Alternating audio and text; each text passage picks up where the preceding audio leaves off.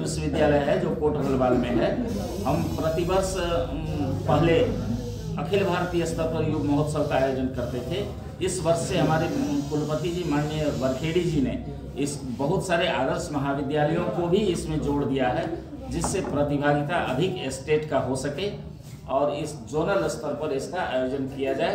जो चार जोन में इसको डिवाइड करके अलग अलग कर रहे हैं।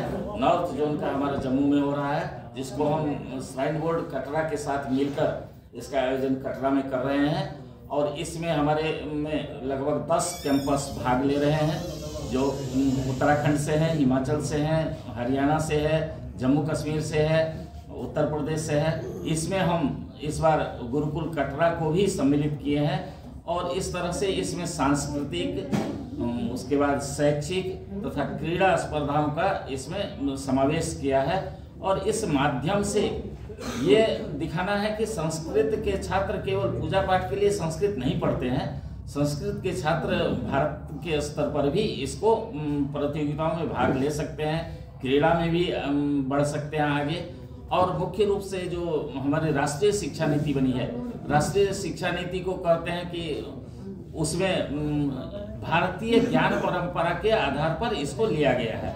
और भारतीय ज्ञान परंपरा जो है संस्कृत के अतिरिक्त कहाँ हो सकती है? क्योंकि वेद, आयुर्वेद, योग इत्यादि सब कुछ तो संस्कृत में है। और जम्मू कश्मीर संस्कृत की पुरानी भूमि है।